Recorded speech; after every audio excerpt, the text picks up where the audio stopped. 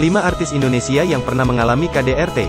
1. Yuni Sara 2. Manohara 3. Talita Latif 4. Nindi Ayunda 5. Lesti Kejora